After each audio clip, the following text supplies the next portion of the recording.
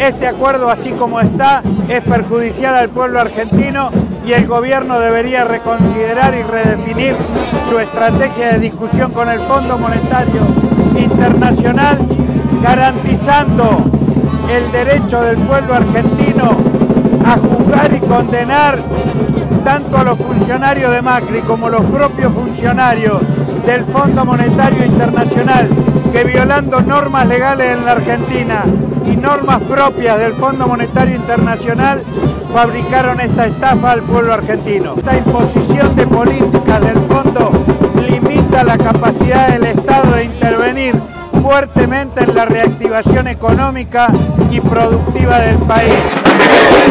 La tasa de interés, la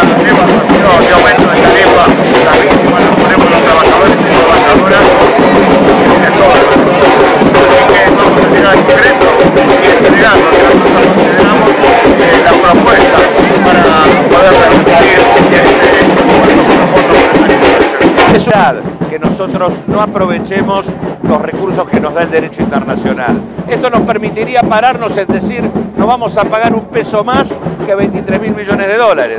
Es decir, reduciríamos a la mitad.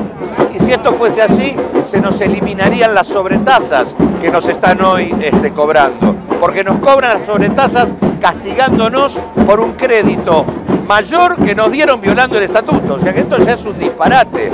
Entonces digo, hay elementos para hacer otra cosa y además para evitar lo que en alguna medida es la consumación del crimen perfecto, que es lo que se está haciendo cuando se le propone al Parlamento que en realidad tome una deuda para reemplazar otra.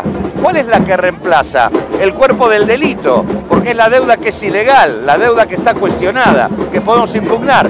Esta deuda va a ser reemplazada por otra igual que va a estar blanqueada por el voto de los legisladores. Por lo tanto, digo, se le están quitando a los argentinos las herramientas para discutir.